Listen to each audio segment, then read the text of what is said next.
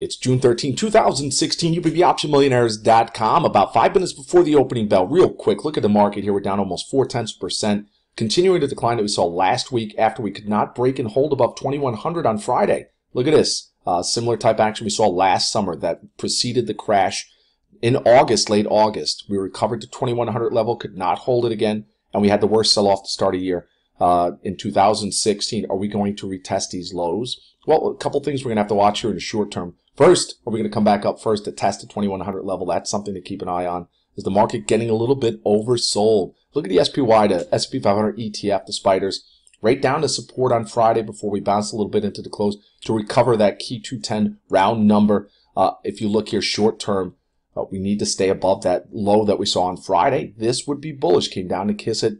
Possible bounce off of it. Energy starting to roll over. We're down over a half percent. But if you look long-term perspective on energy, the XLE ETF, we have broken out of a multi-year downward uh, trend line, broken out, consolidating, nice flag to the upside, rejected at 70, much like we were in October of 2015, rejected at 70. We break above that 70, sets us up. For a move to 76, I think that's the likely scenario after breaking out its downtrend. That would be bullish for the markets.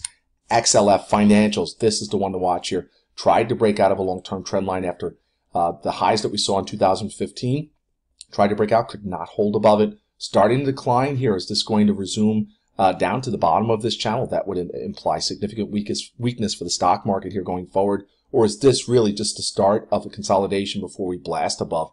Up to 25 on XLE. That's what you have to watch here, the financials, because this market is not going to rally if financials really turn south here. You can look gold, uh, Bitcoin this weekend up to almost $700. You can see GDX on Friday up to trendline resistance again for the second time, rejected.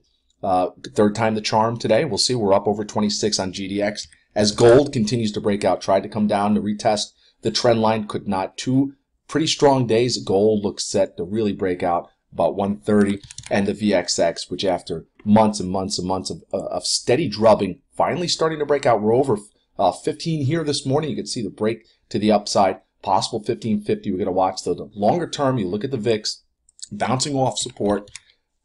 Uh, you can see again, look at the breakout we've had. We're up over 18 on the VIX. You can see support um, held, and we're now breaking up.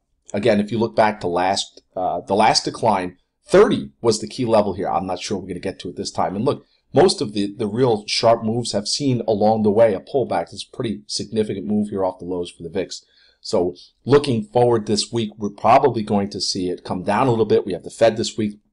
Uh, it is monthly options expiration. A lot of things to watch. Speaking of monthly options expiration, uh, those buying LinkedIn calls on Friday or even earlier in the week, betting for upside heading into this week, are sitting pretty. You see the stock just over 130 on Friday. Well, guess what? This morning, LinkedIn is up over 195 a share. Microsoft buying them out. Uh, some options for LinkedIn that were going for two cents are going to go for 45 cents. Pretty, pretty spectacular move for the option market in LinkedIn. All right, UPBOptionMillionaires.com. The opening bell's coming in minutes. Everyone have a great trading day. I'll see you in the, the new chat room at OptionMillionaires.com.